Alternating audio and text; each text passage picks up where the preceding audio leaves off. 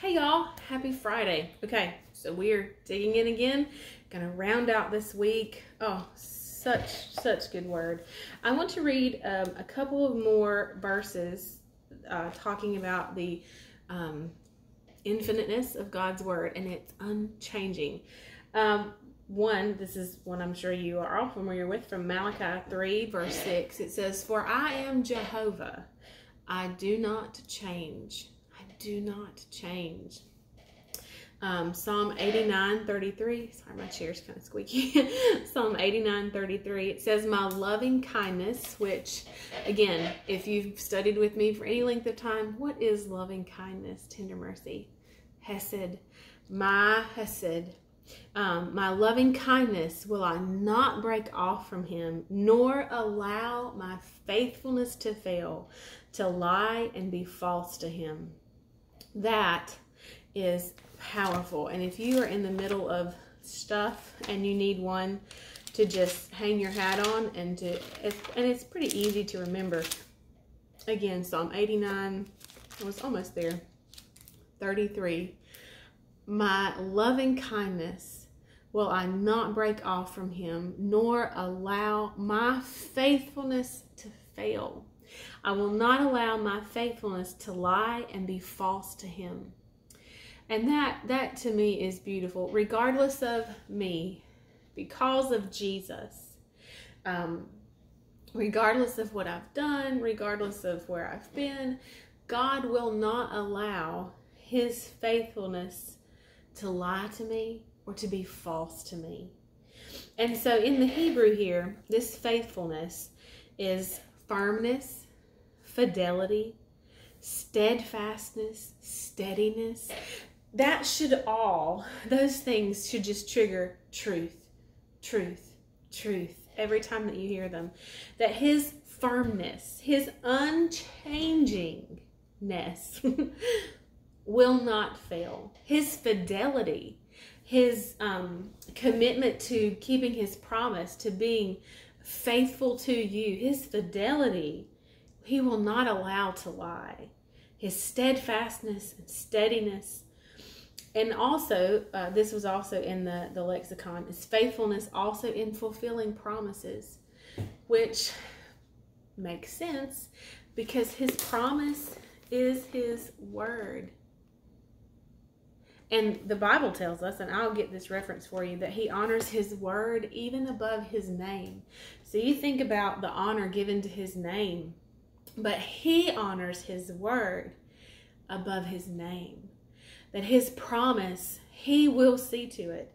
And you, it's his faithfulness towards you will not lie, will not break off, will not befall.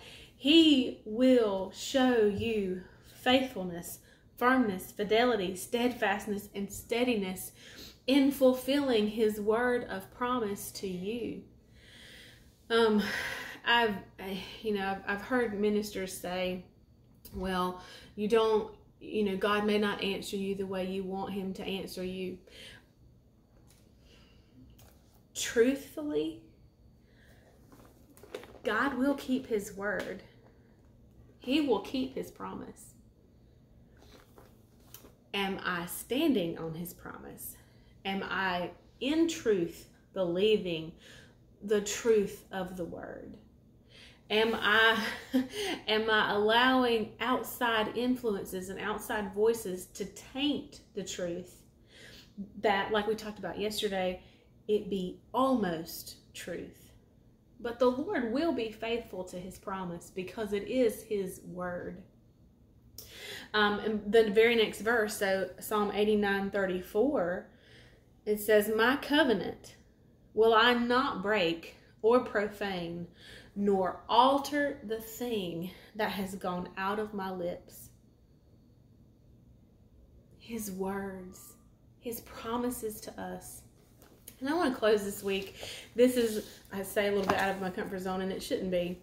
But in and studying all of this and things that I've had going on personally that I've had to deal with, again, having the belt of truth and being in study on that has been so timely for me. But in in my worship time, a song came on, and it's one that you all know, and it is Tis so sweet to trust in Jesus, just to take him at his word, just to rest upon his promise, just to know, thus saith the Lord. Jesus,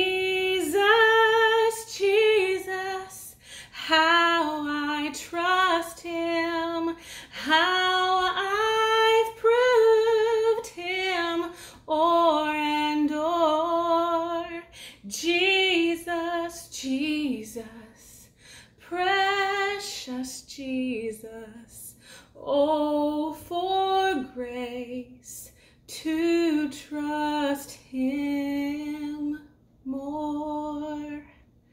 And those words, if you can't do anything else, you start singing that. If you can't remember a scripture, you start singing that. Tis so sweet to trust in Jesus, just to take him at his word, just to rest upon his promise, just to know, thus saith the Lord. And that truth makes all the difference. All right, I'll see y'all tomorrow morning for our live somewhere around 9 o'clock. Bye.